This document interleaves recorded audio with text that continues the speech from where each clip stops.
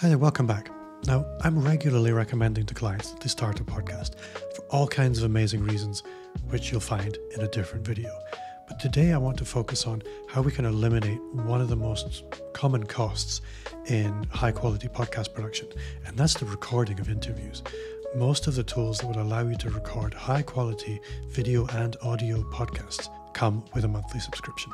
And for some of my clients, especially my group coaching clients, cutting costs and eliminating costs is a large priority for them. So today, I want to introduce you to a tool that will allow you to record high quality audio and video podcasts for free. So, welcome to Waveroom. Waveroom is completely free to use. It's really good. Um, I'm very impressed with it. There are many paid tools that will allow you to do the same job, but Waveroom is completely free. There are a few limitations, but frankly, it is pretty good and pretty compelling. And if they were to charge for it, I would not be surprised if I would pay for it. Um, so, what's included?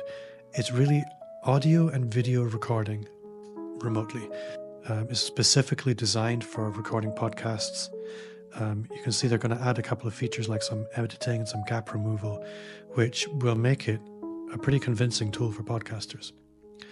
Um, so let's get into it. I'm not going to dwell too much on what's coming or the features and benefits. The only thing I would say is one restriction is your recordings are only stored for 90 days. You need to download them and store them locally at some point. And the recording limit is two hours, which is more than enough for pretty much any interview. So, to getting started, it's as simple as add a name and a password. I use Google. I already have an account, so I'm going to sign in using Google. There we go. So I'm in. Can see I have a room here. If you have different podcasts, you can have different branded rooms.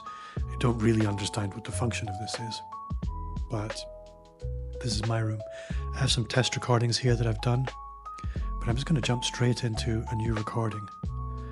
Now, here you can see it's picked up my camera, and I can change the camera that it uses. I can change the microphone, make sure it's using the right one. There we go. And then if I'm wearing headphones or if I have special speakers, I can choose them here.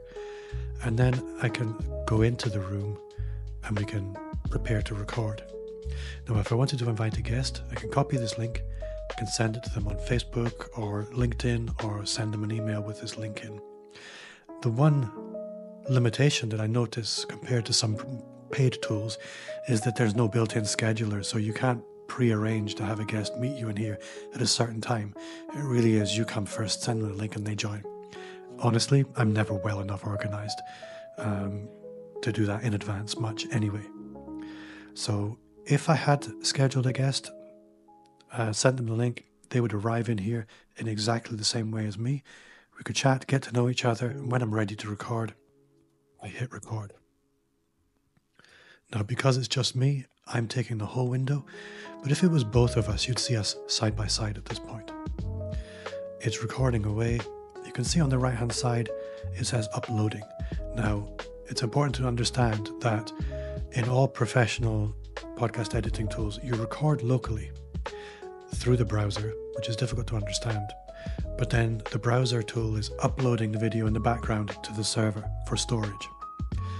Um, that does mean that if you're on a slow connection, when you stop, you need to keep an eye on that and make sure that both of you hit 100% before you before you actually leave the room. I'll explain what I mean there. So I'm going to stop the recording now. And you can see it still says uploading. So I don't want to hit this X button, which will leave the room until this upload hits 100%. Um, for me, I know, for example, if I plug in an Ethernet cable, my internet connection will be blisteringly fast, but I'm on Wi Fi. So there we are, nearly 100%. The longer your interview, the longer that's likely to take, but it's a standard limitation with remote recordings.